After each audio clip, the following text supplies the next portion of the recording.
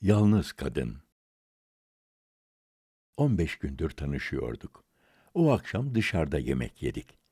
Lokantadan çıktıktan sonra bir parka uğradık. İki akasya ağacı arasında alçak bir sıraya yan yana oturduk. Mayıs'taydı. Saat 11'e geliyordu. Park bomboştu.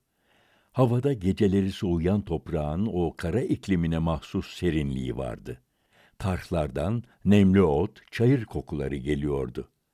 Parkın nihayetindeki kavakları yeni açan toz toparlak ay, çakılların ellerinin beyazlığını aydınlatıyor, solumuzdaki akasyanın dal uçlarından yüzüne, omuzlarına düşen parça parça gölgeler hafif hafif kımıldıyor, yer değiştiriyorlardı.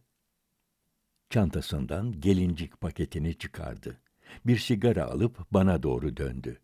Dudakları arasında tuttuğu sigarasını yaktım. Kibritin alevinde yüzüne baktım. Beyaz, durgundu. Her zamanki gibi bu yüz bana gene bu kadar güzel olduğunu ilk defa görüyormuşum gibi geldi. Ben bu kadını seviyordum. Daha doğrusu sevmeyi iyice kafama koymuştum. Onun her dediğine pek iyi demeye hazırdım da kim bana bu sevdanın sonu çıkmaz olduğunu hafif yolla çıtlatacak olsa isyan ediyor, çıtlatana düşman kesiliyordum. Çantasını tekrar yanına bıraktı. Ayak ayak üstüne atarak sıranın gerisine yaslandı. İçmiştik. Neşeliydi. Tam size göre bir gece dedi. Aşıksınız. Ben de yanınızdayım. Bahar, ayda var. Güldüm. Daha ne isterim değil mi? E, tabii, yalan mı? Şikayet etmedim. Bütün erkekler böylesiniz zaten. Nasılız? Yalnız kendinizi düşünürsünüz. Bu da nereden çıktı? Yalan mı? İftira etmiyorum ki. Siz de bütün erkekler gibisiniz. Arzularınızı yerine getirmekten başka düşünceniz yok. Haksızsınız. Yo, hiç de haksız değilim. Tanıştığımız günden beri her vakit bir şeyler istiyorsunuz. Her vakitte dediğiniz oluyor. Mesela ne gibi? Mesela bu gece dışarıda yemek yiyelim dediniz. Lokantadan çıktık, parka uğrayalım dediniz. Daha buna benzer türlüsü. Canınız ne isterse söylüyorsunuz. Benim de uymamı istiyorsunuz. Bir farkla ki ben bu değişikliklerden sizin de hoşlanacağınızı umuyordum. Öyle mi zannediyorsunuz? Aslında değişiklik isteyen sizsiniz. Beni hakikaten hiç düşündünüz mü? Mesela hastalansam, saçlarım birdenbire ağrı verse, bir iki sene sonra beni şimdiki gibi sevmeyeceğiniz günler gelince, ne bileyim o kadar gençsiniz ki ölsem üç aya varmaz başka bir kadına benim kadar aşık olursunuz. Söyleyin, ölürsem ne yaparsınız? Ben zar zor geçinen, parasız, küçük bir memurdum. Ne ona ne de başkalarına söz vermeye, vaatlerde bulunmaya durumum uygun değildi. Çaresizliğimi bir kere daha duydum.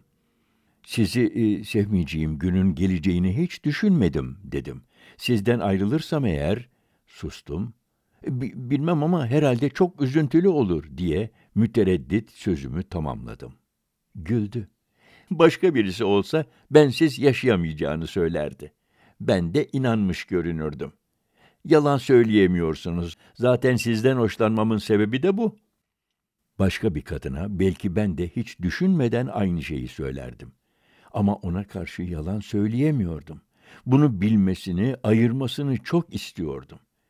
Oralı görünmeyişine canım sıkıldı. Cevap vermedim. Eğildi, gönlümü almak istercesine yüzüme baktı, gülümsemeye çalıştım. O sırada parkın gerilerinden kopan bir esinti, kavakları dolaşıp üstümüzdeki akasya dalları arasından hışırtılarla geçti. Saçları yüzüme doğru uçuştu. Sigarasını attı. Elleri dizleri arasında büzüldü. Kadınca bir eda ile ürpererek içini çekti. Üşüyorum, niye getirdiniz beni buraya? Bakın ellerim buz gibi. Bana uzattığı ellerini sağ avucumun içinde sıktım. Sol kolumu omuzundan doladım. Vücudunu göğsüme doğru çektim. Dudaklarından uzun uzun öptüm. Önce teni buz gibiydi. Öpünce ısındı. Başını biraz ayırıp omzuma dayadı. Sol elini avucumdan ayırdı, ceketimin yakası altına yerleştirerek aşağı yukarı dolaştırmaya başladı. Tamamen değişmiş bir sesle, Neyimi seviyorsunuz benim bu kadar? Ne var bende? Değişi vermiştim. Bütün yaşama isteklerimin dalga dalga artan bir sıcaklıkla damarlarımda dolaştığını, ona doğru atıldığını duyuyordum. Dudaklarım saçları arasında şakaya vurdum. Düşünmedim. Hafif doğruldu. Sahi söyleyin, ne var bende? Ben de öteki kadınlar gibiyim, sadece kadınım o kadar. Ben cevap vermeden o devam etti. Ne deseniz nafile. Sizin çağınız bu. Aşk çağı. 25 yaşındasınız. Kimi olsa böyle seveceksiniz. 25 yaşında ben de böyleydim. Müthiş aşıktım. Sevmek, sevilmek isterdim. Dünyada aşktan başka daha mühim bir şey yok sanırdım. Ya şimdi? Şimdi de seviyorum. Yalnız sizin gibi değil, başka türlü.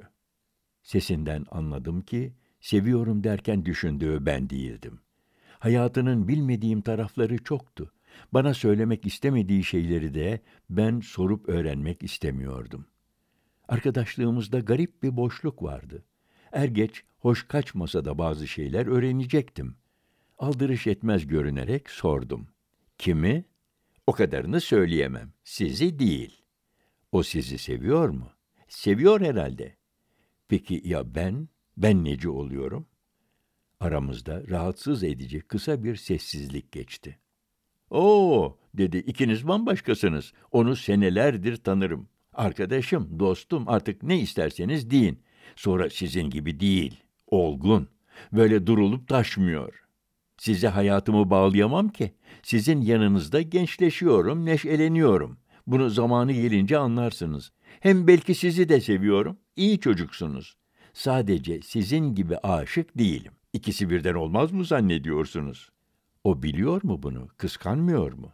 Biliyor belki, görmüştür yahut duymuştur, belli etmiyor. Hafif doğruldu. Peki siz niye kıskanmıyorsunuz? Duraladım. Hakkım yok ki diye mırıldandım. Tekrar sıraya yaslandı. Doğrusu da bu. Ne onun ne de sizin kıskanmaya hakkınız yok. Tekrar sustuk. Söylemek istediğimi iyice bulamıyordum. Kimdir bilmiyorum dedim. Ama hayatınızı bağlayabileceğiniz biri ise aranıza girmek istemezdim.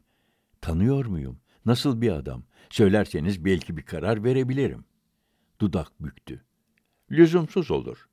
Neden? Ayakkabılarının ucuna bakarak. Bilmem, dedi. Sormayın, düşünmek istemiyorum. Sustum.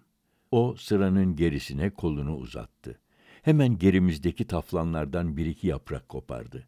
Sonra yaprakları parmakları arasında hafif hafif yırtarak konuşmaya başladı. Siz dünyada aşk var mı zannediyorsunuz? Sadece alışkanlıklar var. Aşk varsa da altı ay, bilemeden en fazla bir sene sürüyor. Gerisi hep alışkanlık. Bir kere o bana karşı çok anlayışlı. Bütün münasebetimizde nazik davrandı. Sonra güzel adam, halbuki siz hiç onun gibi değilsiniz. Benden değişmemi, başka bir kadın olmamı istiyorsunuz. Ben böyleyim, değişemem ki. Çakılların üstünde ayak sesleri duyarak başını kaldırdı.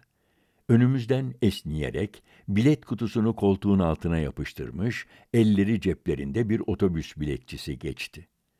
Parkın içinden kestirme bir yol tutarak karşı caddeye doğru uzaklaştı. O devam etti. Belki de sizin en iyi tarafınız bu. Ümitlisiniz, hayatı seviyorsunuz. İnandığınız, her zaman istediğiniz bir şeyler var. Benim ne kendim ne de başkaları için en küçük bir arzum yok.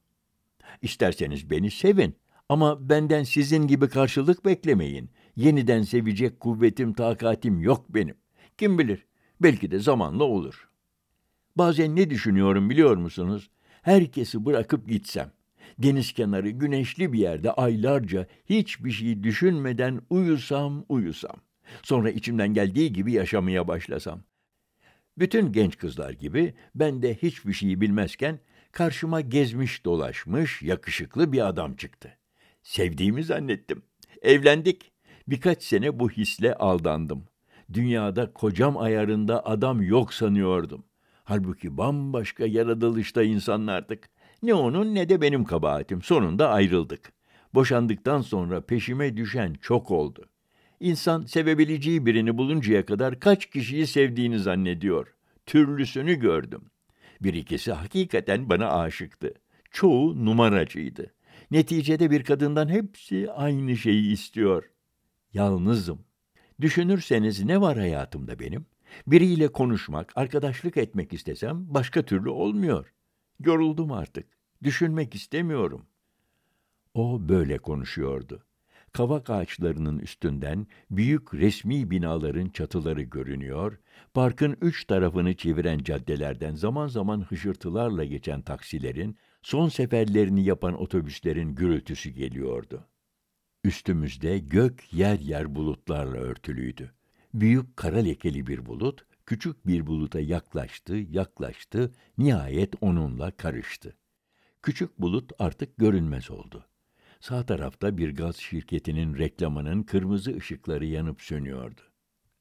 Onu mesut etmeyen bu dünyadan, onun etrafını saran tanıdığım tanımadığım herkesten, gezmiş dolaşmış olanlardan, naziklerden, numaracılardan, hatta onu sevenlerden nefret ediyor, ona bütün söylediklerinin yanlış olduğunu, bütün kuvvetimle söylemek istiyordum. Gözlerim bir noktaya daldı, büyüdü, büyüdü, neden sonra onun sustuğunu, bana baktığını fark ettim. Ne oldunuz birdenbire dedi. Ne çabuk değişiyorsunuz. Çocuksunuz diyorum ya, çocuksunuz işte. Elini tuttum. Hiç dedim, sizi dinliyordum. Peki niye öyle daldınız? Hiç, ne bileyim, hiç işte. Pardesüsünün önünü kapadı, çantasını aldı. Soğuk değil mi? Tekrar kucaklamak istedim, eliyle mani oldu. Hadi hadi uslu durun. Park sefası yeter. Kalkalım. Kalktık. İlk elektrik direği altında çantasını açtı, boyasını tazeledi.